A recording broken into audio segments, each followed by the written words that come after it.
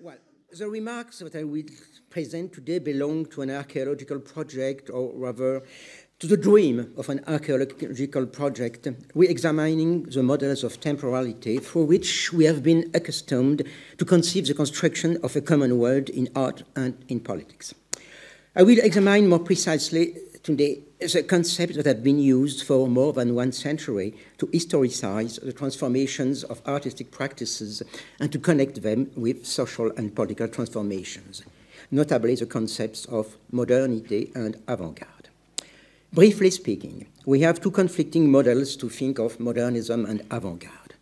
The first one has often been assimilated to a naive will to dissolve the, the practice of art in order to make them fit the speeding up of modern life, the enchantment of electricity, the rhythms of the machines, the speed of the cars, the sharpness of steel and cement, and all those idols of the modern celebrated in the famous Futurist Manifesto written by Marinetti. On the other hand, artistic modernism since the time of Clement Greenberg has been described as the conquest of the autonomy of art, its separation from the forms of commodity culture, and the commitment of each art to its own medium. Instead, I would like to show that the notions of modernity, modernism, and avant garde entail a complex and paradoxical intertwinement of temporalities, a complex set of relations between the present, the past, and the future, between anticipation and lateness, fragmentation and continuity, movement and immobility. This paradoxical intertwinement of temporality has been first set up in Hegel's aesthetics, and in a way, the whole historic of what is called artistic modernism is made of the attempts to solve the Hegelian formulation of the paradox. Hegel, as you know, made of the very concept of art the concept of a distance. What we see as art in museums was not is such because it was not art for those who produced it. It was the form under which they tried to express the spirit of their collective form of life. That spirit, however, had not yet reached its self-consciousness and was still unable to give an objective form to its own content. Art, thus, according to Hegel, was the expression of that spirit outside of itself, in the external materiality of the sculptured stone, the painted surface, or the poetic meter. But in modern times, the spirit that animated the progress of history had became, become conscious of itself in science, and the collective life of the people was now embodied, adequately embodied in the institutional forms of economy, constitutional government, and administration. This is what modernity meant. And that's why art had lost its substantial content. It could, be, it could no more be the flowering of a form of life. It, beca it became thus a pure manifestation of technical virtuosity, a mere self-demonstration. It became the imitation of art, which meant the end of art. So either art or modernity. Such is the original Hegelian dilemma, with which all attempts at defining or practicing art, an art of modernity, had to cope since almost two centuries. This paradox is at the core of the main modernist narrative, the one that made modernism the conquest of the autonomy of art and medium specificity. I, would like to show it out of the text which formulated the credo of the so-called modernist view of art. I mean Clement Greenberg's text, Avant-Garde and Kitsch, published in 1939. While agreeing with argument or rejecting it, the commentators, I think, have not paid enough attention to its paradoxical aspect. Greenberg's analysis predicates the task of the artistic avant-garde on the impossibility of escaping the historical necessity but he describes in terms of decline. He said that the development of capitalist society had broken, I quote him, the accepted notions upon which artists and writers must depend in large part for communication with their audiences.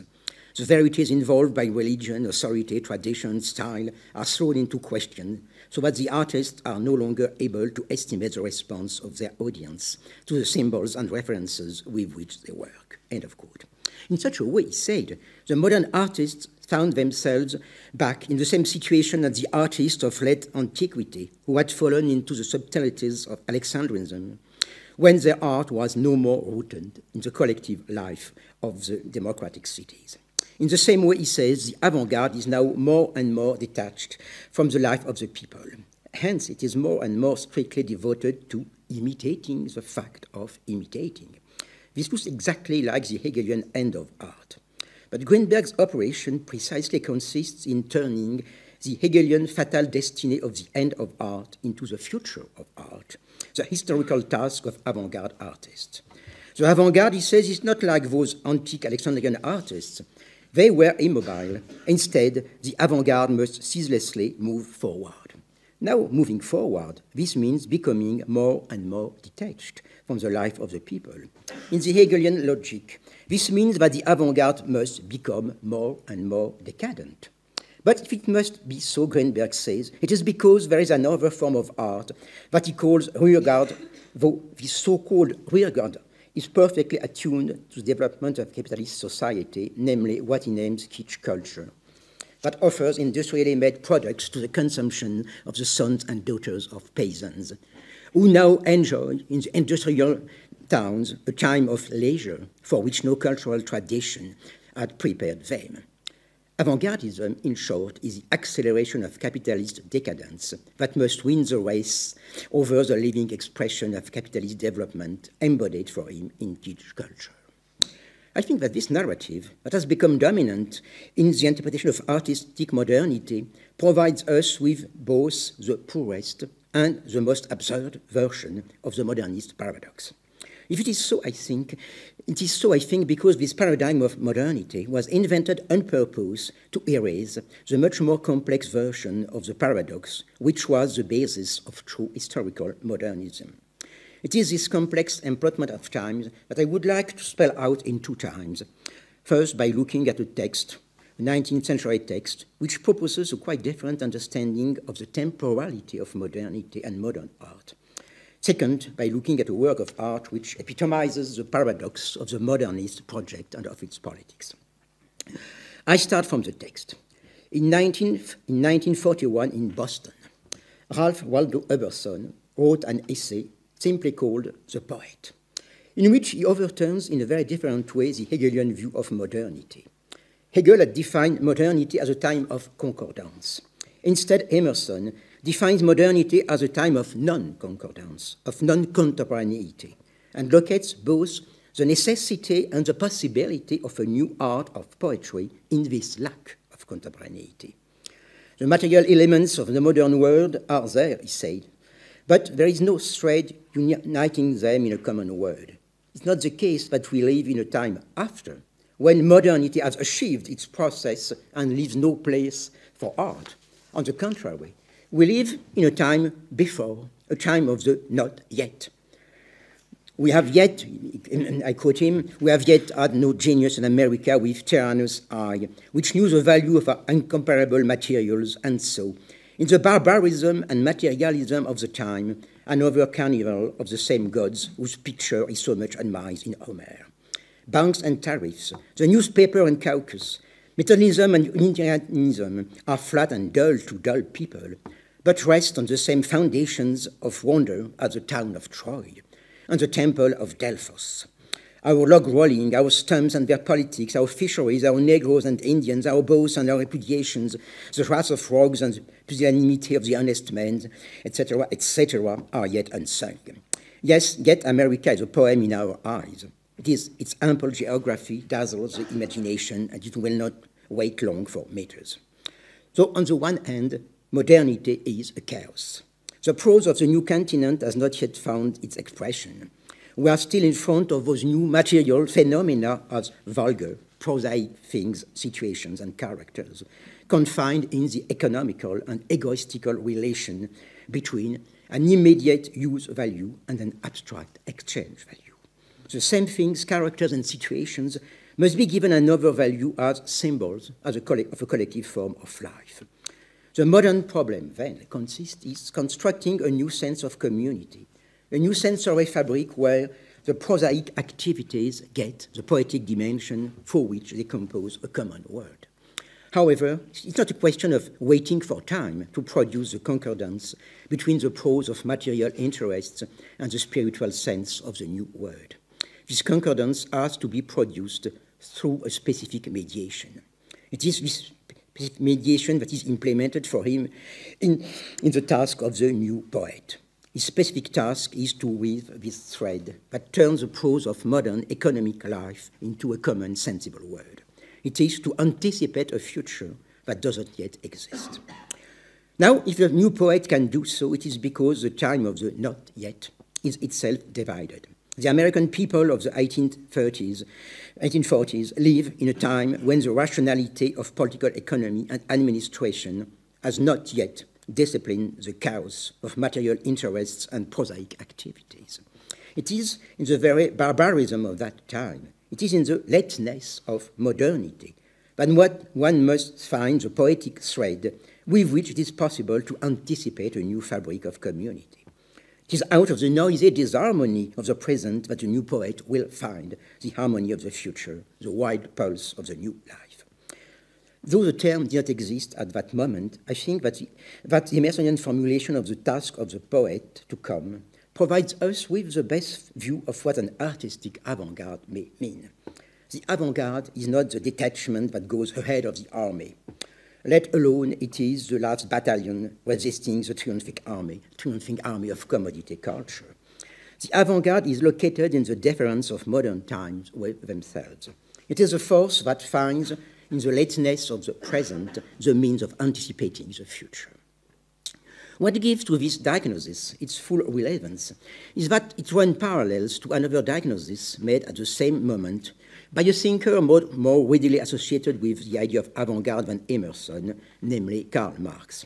In his text of 1843, Marx dealt with the same issue of non-contemporaneity, when he refuted the Hegelian thesis of a modernity defined by the concordance between thought and its word. On the, on the, contrary, the President of Germany witnessed, he said, a perfect disharmony. German philosophy had elaborated a theory of human liberation that had no correlate in the feudal and bureaucratic misery of contemporary Germany. It was for this very reason that Germany could achieve a still unheard of revolution, a human revolution, skipping over the merely political revolution. But it could do so on one condition, namely that it would appropriate the energy of the active transformation of the world that the French revolutionary fighters were able to deploy without being able to give it any theoretical formulation.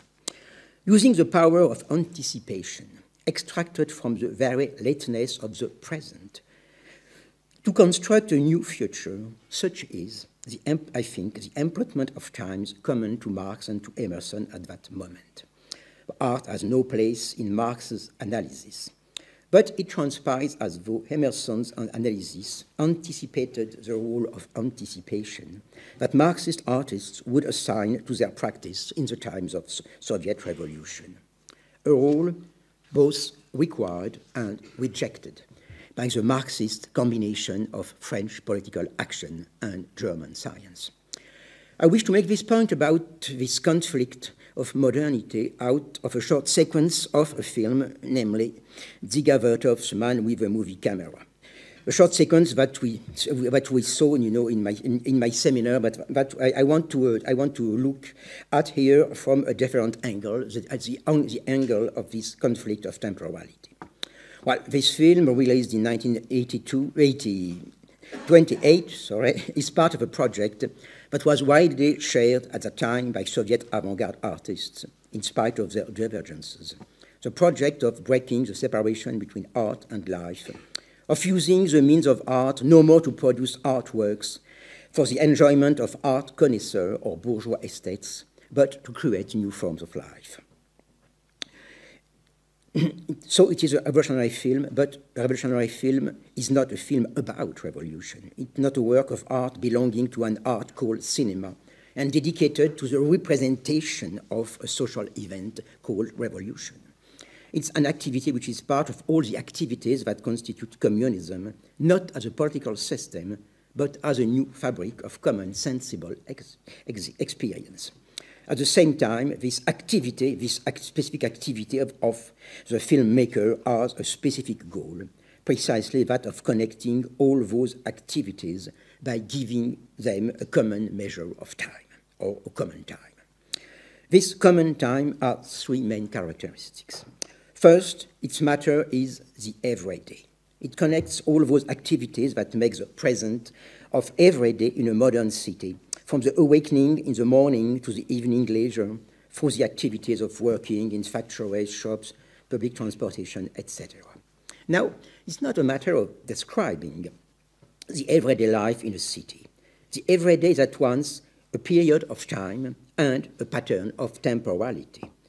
In the ninth book of his Poetics, Aristotle had opposed the poetic construction of the plot, which creates a load by connecting actions according to necessity or verisimilitude, to the chronicle, which merely tells the things as they happen, one after the other, in their empirical succession. In 1922, Virginia Woolf wrote an essay called Modern Fiction, which equates modernity in literature with the disruption of that hierarchy. The time of modern fiction is the time of all the events that fall on the minds at every moment, coming from everywhere. And the task of the modern writer is to draw a thread that gives to that shower of atoms its time. So, what is opposed to the causal logic of the plot is not so much succession as it is coexistence. The time of modern fiction is the modern time inside which all events penetrate and resonate into one another. The time of Joyce, the, the, time of the day of Joyce Ulysses, or of the days of Woolf's Mrs. Dalloway, the times also of Dziga Hoffman with a movie camera. The chronicle of a day is in reality the construction of the time of coexistence, the time in which all the activities penetrate into one another to constitute a new fabric of common life. So, in the terms of Emerson, it's a question of weaving, weaving the spiritual thread between all the activities. In the times of cinema and communism, this spiritual task is called more prosaically montage. Vertov's montage cuts all the activities into very short sequences, alternating at a very speedy rhythm. Therefore, it's very easy to see in the film, like in many futuristic projects of the time, a naive adhesion to the new modern idols of machine, speed, automatism, Taylorism, etc., etc. Such a view of the modernist naivety, however, is soon questioned by the selection, or rather the absence of selection, of the activities that compose the communist symphony. Although the extreme fragmentation of the montage may evoke the Taylorist division of tasks, so much praised in Soviet Union at that moment, it soon appears that it does exactly the contrary. It doesn't fracture a single task into a number of complementary, complementary tasks, complementary operations. Instead, it puts together a multiplicity of different tasks that have nothing in common except the fact that they're all manifestations of movement. So the montage captures into the same accelerated movement of interpenetration the gears of the new machines in the factories and the gesture of a woman sewing with her needle, the doing of nails in a beauty parlor, or the gesture of, the, of a in the street, as well as the rotary press, the packing of cigarettes on an assembly line, or the rush of the water in a hydraulic power plant. Well, it seems difficult to consider the doing of nails in a beauty parlor or, or, the activity of a shoe shiner in the street as illustrations of the new communist society or an illustration of modernity. But one must remember here what Emerson told about the barbarian times. It is from the very chaos of conflicting times and conflicting words that the spiritual thread of communism is extracted. Vertov had carried this principle in a much more radical way in, in a previous film, a six, six part of the words, six of the words, as he had shown the reality of new communist life in the Asian republics of the Soviet Union with images of camel uh, or reindeer caravans across the steppes of the tundra, Kalmyk fishermen pulling their nets, Siberian hunters drawing their bow, nomads playing polo with goats' heads, or eating raw venison that they dip into still steaming warm blood, etc., etc. What is modern, and communist for this reason is not the nature of the activities. It is the rhythm of the montage that creates commonality out of the very discrepancies of times that characterize the activities, as it puts them together as equal quantities of movement, equal manifestations of a common energy. The fragmentation of all activities into equivalent units of movement results in a huge symphony in the flood of a continuous homogeneous present. This present is the present of the new world that the avant-garde can create through the doubling up of the not yet. It is an anticipation of communism extracted from its belatedness. Now, for this to be done, this modern or communist temporality must have a third characteristic not only the everyday, not only the equality of all movements, and the fragmentation and equality of all movement. This movement, and the, the, the characteristic is follows, what follows. Well, this movement must be disconnected from the ends and means of any specific activity. It must have its end in itself. At this point, the symphonic, cinematic symphony of movements meets another aspect of the modern anti-representative revolution that defines modernity in art at that moment. And this is something that I would like to examine on a short extract of the end of Man with a Movie Camera.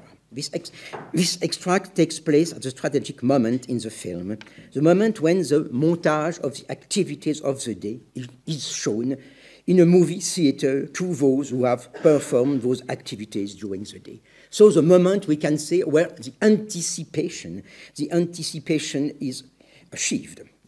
Well, and so, uh, so I think we can uh, we, we can see the clip now. Perhaps we can uh, we can. Okay. So we are in the movie theater where, when the film is presented, is presented to those who have been it, who have been its actors, but we are not actors during the during the day. So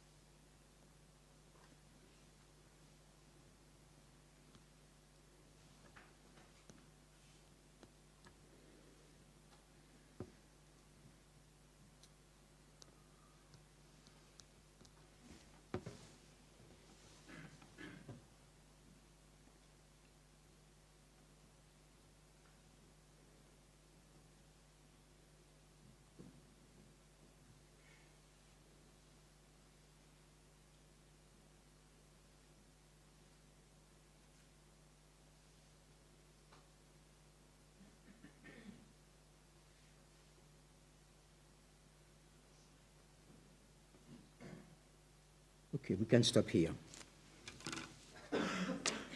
Well, in this sequence, so the activities of the days of the day are condensed through a limited number of movements, of movements which becomes become symbols of the whole.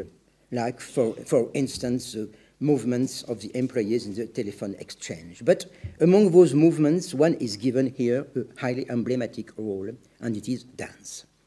Dance, dance plays in this passage a twofold role, a twofold role, because dance here is not presented as a kind of reminiscence, you know, of the leisures of the day. No, it is really here as a, a symbol, and the symbol that is presented very, at the very beginning of, uh, of this montage of activities.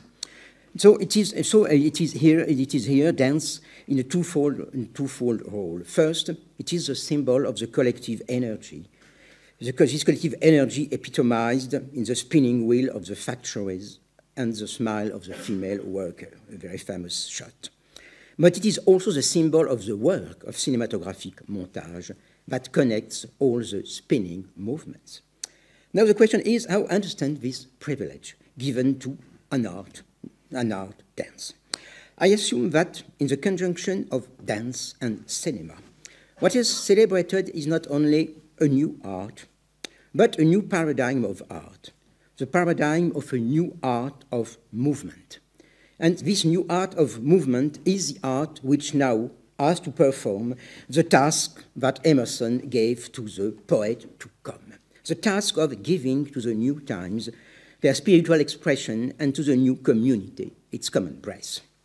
Well, if we want to understand what puts together the free movement of the ballerinas and the automatic movement of the machines, the performance of art and the performance of work, the production of electric power in Soviet power plants, and the light on the screen of the movie theater. Perhaps we must ask the question to a French poet who seemingly had nothing to do with Marxist revolution, namely Stéphane Mallarmé.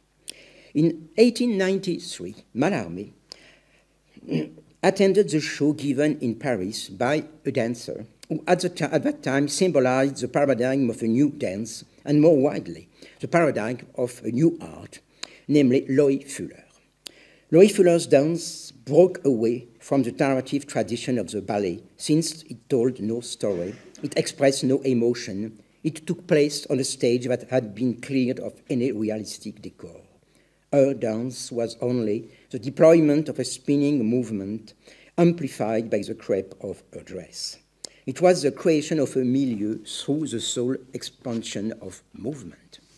Mallarmé expressed the novelty of her performance through, through three couples of notion. And interestingly, these three couples of notions through which he defined her art are three entanglements of times. Firstly, it is Loie Fuller's art is modern, he said, insofar as it is entirely classic. It is modern insofar as it achieves the indistinctness of form and content. Some people still identify with identity of form and content with an idea of the autonomy of art, but it is just the contrary. The unity of form and content means the concordance of an individual artistic performance with a form of collective life. That concordance that precisely had been symbolized since Winckelmann and Hegel by Greek classical sculpture. Loie Fuller's dance expressed a freedom which is not the manifestation of a will, but the movement through which the artistic will loses itself in the creation of an impersonal milieu. This is why Mallarmé said, and the second formula, which is the second entanglement of times, the art of the American dancer is Greek. It is Greek insofar as it is American.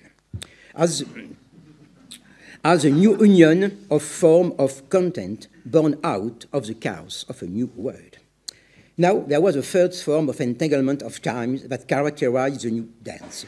In Klimt, Mallarmé said, the intoxication of art with an industrial accomplishment. And Mallarmé was referring uh, then to the spotlights, because the spotlights was, was part of Loie Fuller's performance. It was not simply technical means, but the, the spotlights were part of the performance because they expanded the radiation of her performance as they illuminated her dress and give to the spinning movement the intensity of the fire or the colors of the rainbow. It is, I think, this union of art and industry, this union of the, of the art of the art of light and of the art of movement that sustained the work of the Soviet filmmaker. But it does so through the mediation of the dance of an other American dancer who wished to revive the dancers of ancient Greece, namely Isadora Duncan. What makes her figure relevant to understand Vertov's association of dance, industry, and communism is her conception of free movement, the movement that is akin to the very rhythm of universal life, the rhythm of a life that has never begun and knows no ends or stops. While Mallarmé stressed the identity of the artistic artifice with the deployment of the appear, appear, appearing of things themselves, Duncan laid stress on another aspect of free movement. Free movement is a continuous movement, a movement that unrelentingly engenders another movement. This continuous movement dismisses the very opposition of movement and repose. This also means that this dismisses the Nietzschean opposition between the Apollonian art of the forms and the Dionysian expression of the unconscious forces. The form itself, the quietness of the endless undulating line, expresses the furious flow of universal life. And perhaps to understand this beyond the quarrel of Apollo and Dionysus, the frenzy of, we must think that the frenzy of free movement reaches back to the Schillerian definition of the aesthetic state as a state of equilibrium between activity and passivity that dismisses the normal and hierarchical coordinates of sensible experience.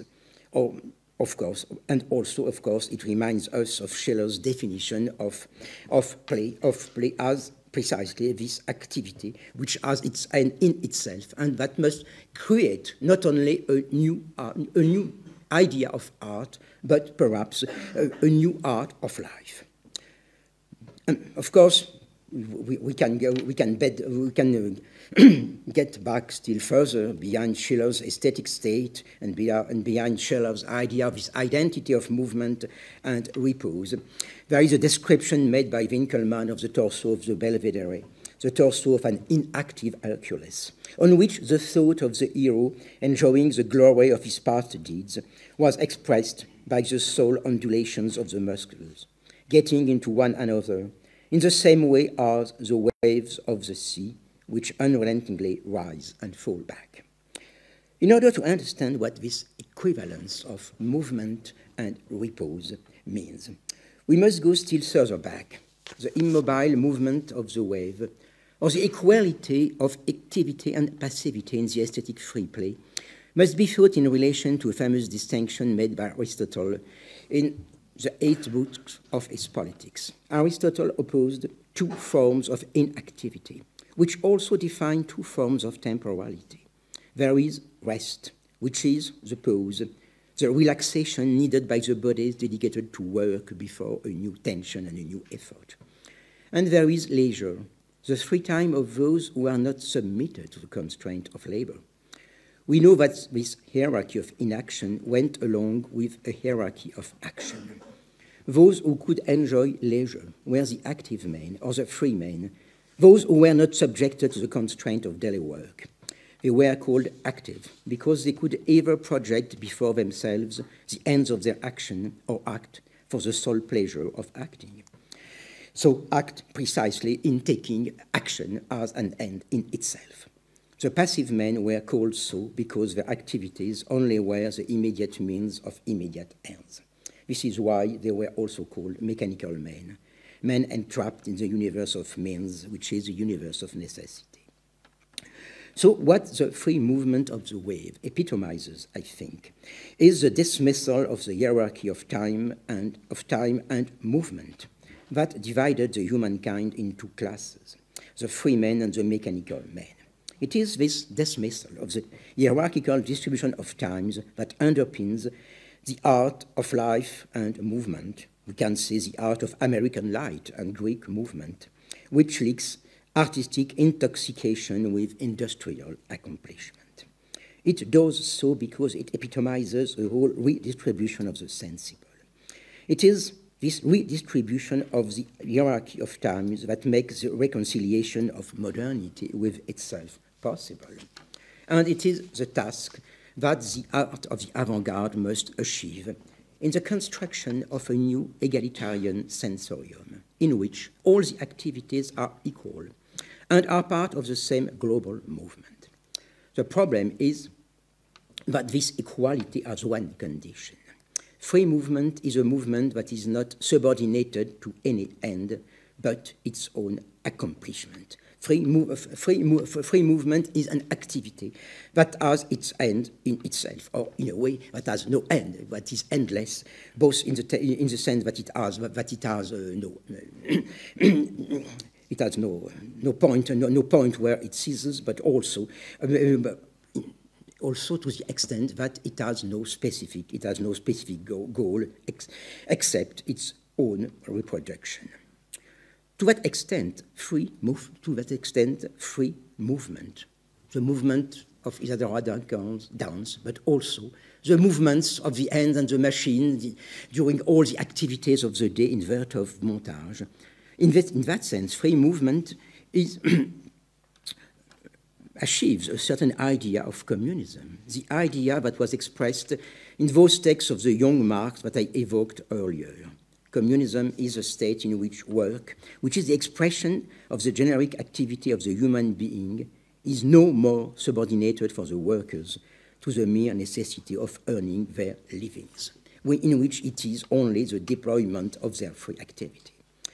In short, communism is a form of life in which mechanical men have become free men, because the means and ends of action have become one and the same reality. And it is that sort of communism that the movements of the ballerinas, the spinning wheel in the factory, the gestures of the worker on the assembly line, or of the employees on the telephone exchange enjoy, as they are connected within the same common movement. But they are so unconditioned that each of those actions be disconnected from its own temporality, disconnected from the ends that it pursues, and that they all share the same characteristic unwillingness.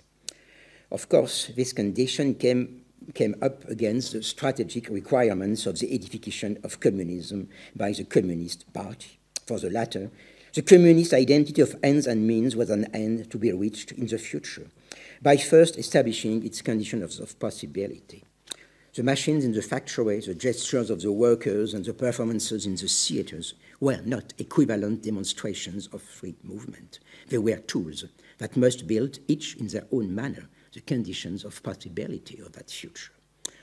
One readily sees in this conflict, you know, the immemorial conflict between artistic freedom and political constraint.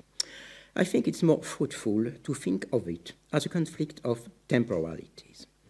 From the point of view of the state, of the state avant-garde, communism cannot be anticipated. It cannot exist before its material foundations have been laid from the point of view of the aesthetic avant-garde. Communism cannot exist if it has not anticipated itself in the construction of a common sensorium. This might be summed up as the conflict between the Franco-German political paradigm and the Americano-Greek aesthetic paradigm of modernity. The conflict opposing two conceptions of the conflict of times which characterizes modernity. Well, we know how the quarrel was settled. The constructors of real communism urged artists to give up the pretension of weaving in advance the sensible forms of a new community, the pretension of reconciling modernity with itself. There could be only, there could be only for them one temporality, the temporality of ends and means, which was also the temporality of work and rest. So what Soviet artists had to do was to serve the strategy of the party by representing the efforts and the problems of the real people and by recreating, recreating them after the pains of their labor, which means that they had to go back to the old logic of the representative regime of art. Now, this repression of the historical modernist project paved the way for the retrospective invention of a new modernism in the times of Clement Greenberg.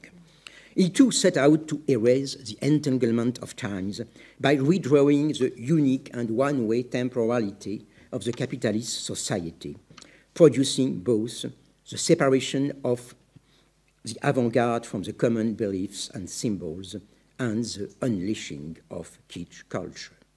This also meant redrawing the inner division of temporalities by clearly separating the time of the free men able to follow the one-way movement of avant-garde from the mechanical men consumers of kitsch culture. It may be useful, I think, beyond the quarrels about modernism and postmodernism, to reinvestigate those entanglements of times which perhaps were the true core of the modernist project or of a modernist, modernist dream of construction of a new world. I spoke of an archaeology or of the dream of an archaeology. Well, now, an archaeological project, as I, as I think of it, is not simply a project that, that wants to cast a new light on the past.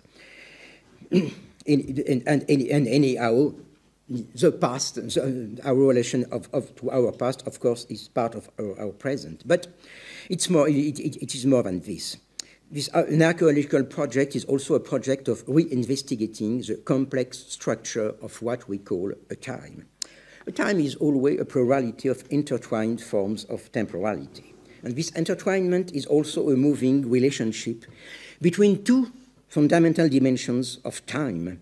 Time as a line stretched between the past and the future, and time as the inner split which separates forms of life by separating forms of temporality. And this is what was at stake. After, after all, in this reconstruction of a common time.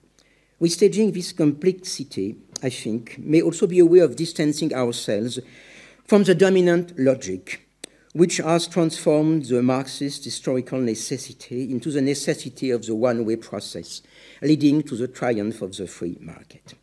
It may, be also, it may also be a way of distancing ourselves from the melancholic discourse which describes our, our time as the time of the hegemony of the present, the illusion of the absolute present of universal communication and absolute alienation. It may be a way of reopening a time of the possible. Thank you for your attention.